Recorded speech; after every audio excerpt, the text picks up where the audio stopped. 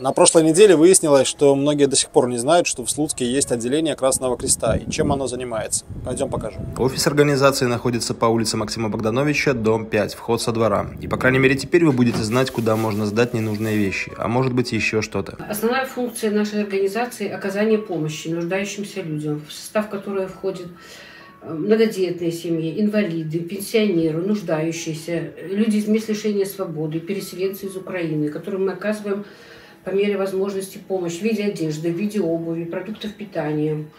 В составе нашей организации есть э, служба допомога. В нее входит старшая медсестра и две младшие медсестры милосердия, которые оказывают помощь инвалидам первой и второй группы на безвозмездной основе. Мы очень благодарны всем жителям нашего города, которые оказывают помощь в виде предоставления одежды, обуви, чтобы потом помочь нуждающимся людям в этом особенно детская одежда, мужская одежда и обувь, всевозможная помощь. Мы принимаем мебель, принимаем посуду, постельные принадлежности, в общем. Красный Крест Беларуси существует за счет добровольных пожертвований, поэтому каждый может внести свой вклад, насколько считает нужным.